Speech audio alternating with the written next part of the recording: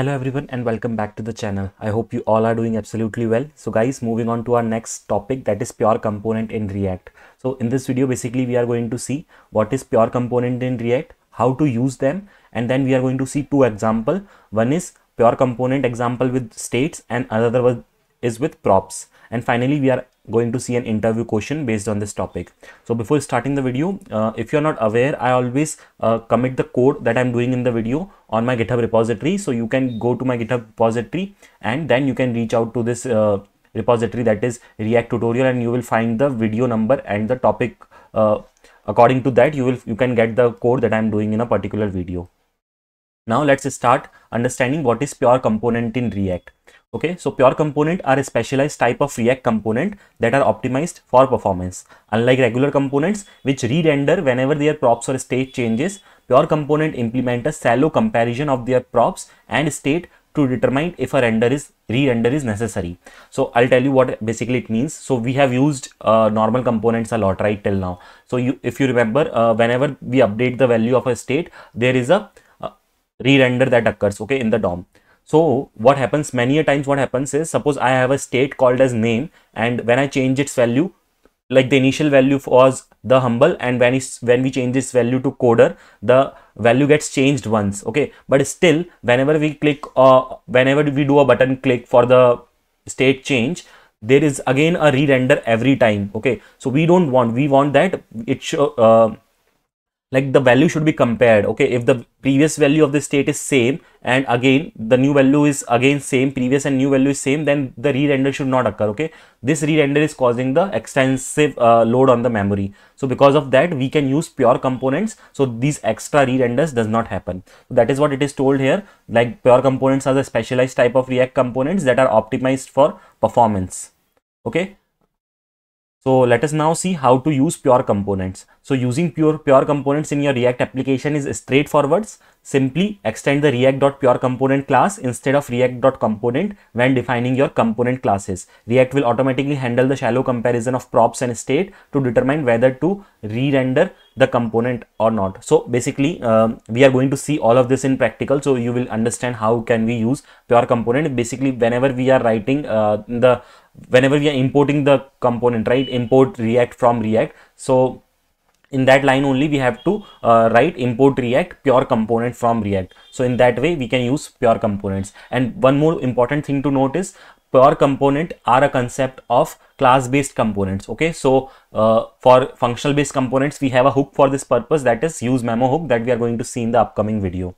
Now let us move on to the code editor and we will see an example uh, with which we will understand how uh, this re-rendering happens and how can we uh, stop it using pure components. So first of all, I am going to create a class based component. So for that, I am using RCE, which is the snippet, for, which will give us the basic snippet for class based component. So if you see here, we are importing a normal component. Okay.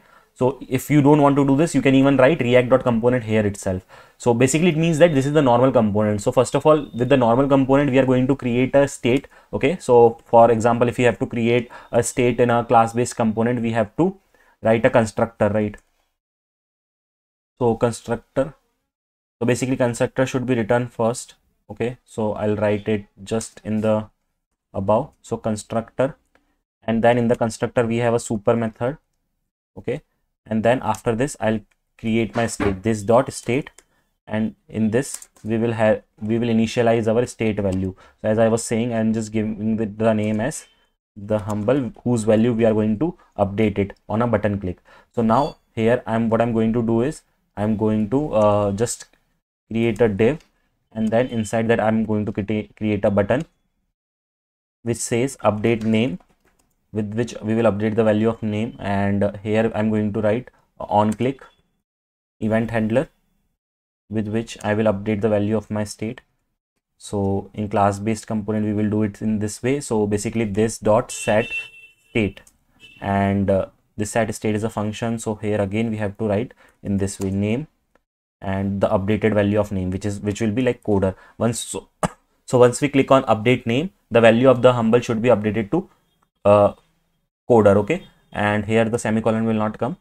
So i'm just now saving it. And now uh, i'm also writing one basic h2 which will display the change in the state value.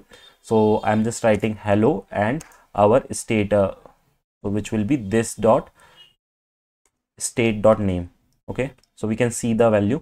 And now uh, to understand the re-render is happening i'm just going to write a console statement which will tell uh, which will let us know like how the re-render happens okay? So i'm writing app component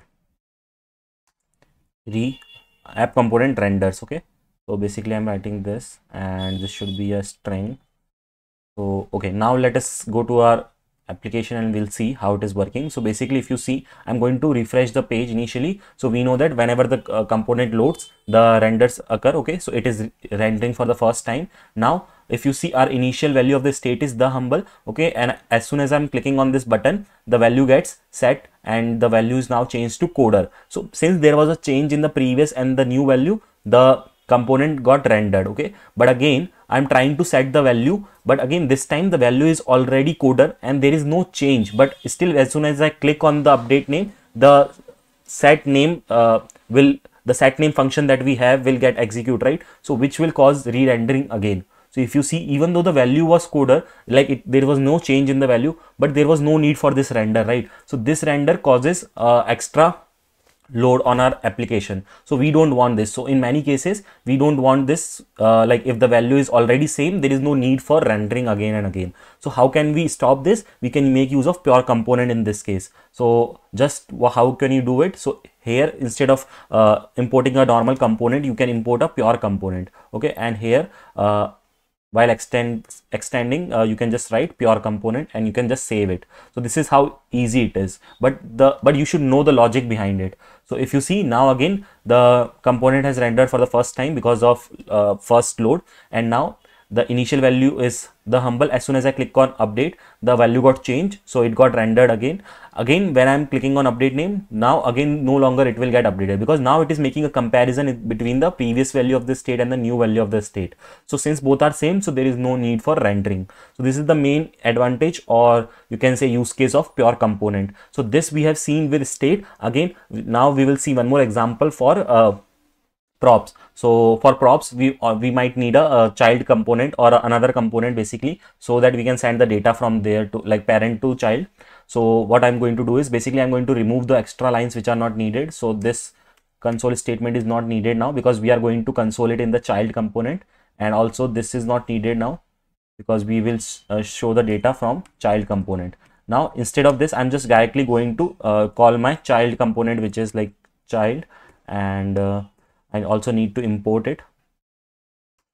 So import child from child. And again I I want to pass the prop because you know we have to understand how the updation in props causes the re-rendering. So I'm just going to pass name equals this dot state dot name okay?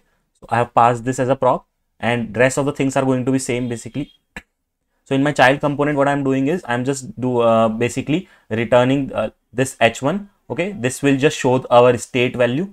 Okay, and rest all the button and all these things we are doing from the parent component only. Because we just want to understand that here in the child uh, component whenever the props values gets updated the child component also gets re-rendered right? So that is why i have written a console statement here child component re-renders. Okay now i'm going to remove this pure statement which we have written. Otherwise it won't show the re-renders because if the parent is already uh, you have is if the parent is already a pure component right?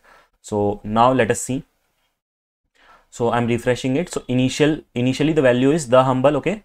And as soon as i click on update name you can see first of all uh, on the first initial load child component renders. And then as soon as i click on update again the child component has rendered because there was a change in the value of the state. Now it should not re-render if it would be a pure component. But since it is not a pure component uh, okay i think there is some mistake. I okay so okay yeah i have written this statement I have written pure here so that's why. So again let's see. So in the first go since the value is changing so that's why. But again next time if you see the value is already same since again it is uh, re-rendering again and again. So if you want that it should not re-render. So in the similar way you can just do this thing okay? React.pure component in the child component and now it should work as per the functionality of pure component.